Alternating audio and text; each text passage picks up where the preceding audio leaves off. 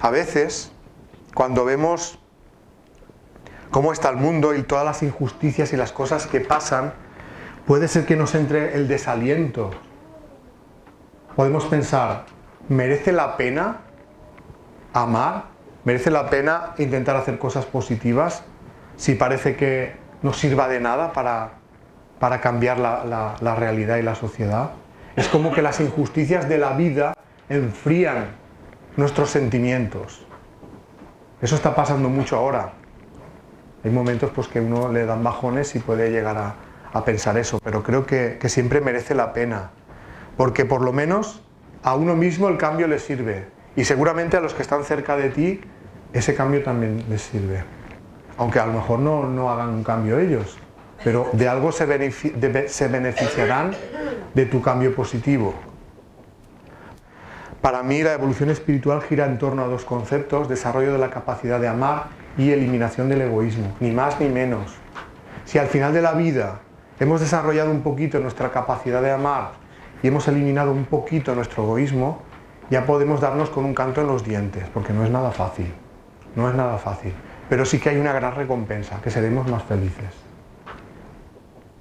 Para mí el destino de todos nosotros es aprender a amar incondicionalmente y de esta manera alcanzar la verdadera felicidad a través de las pruebas de la vida y que todos venimos a eso, aunque no queramos admitirlo.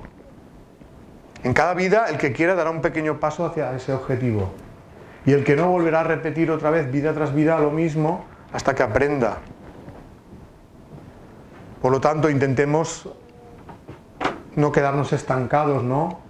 Para mí tenemos que intentar luchar para que nuestra vida sea un reflejo de, de nuestros sentimientos de amor y también deberíamos intentar respetar la libertad de sentimiento de los demás para que también ellos puedan vivir la vida de acuerdo con sus sentimientos.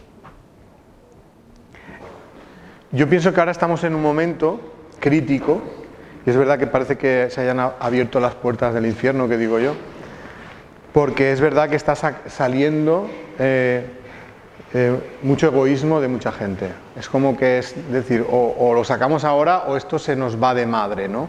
Yo creo que hay un movimiento bastante importante de gente que quiere hacer un cambio en la humanidad, pero hay unos que les gusta que siga todo así y, y no les gusta el cambio y entonces están poniendo toda la carne en el asador para intentar que las cosas continúen eh, como, como, seguían antes, ¿no? teniendo el control. Y eso está haciendo, digamos, que, que estén apretando las, las, tuercas. Yo pienso que, que no, no, van a poder. Pero el, que es, es, cierto que se está manifestando ahora mucho egoísmo, pero no creo que sea porque estamos involucionando, sino simplemente porque hay como una lucha entre los partidarios de, del amor y los partidarios del egoísmo. Yo creo que la clave es que hay una gran falta de amor y cuando no hay amor eh, aflora el egoísmo. Igual que cuando no plantas ninguna planta, digamos, eh, de cultivo en un campo, salen las malas hierbas.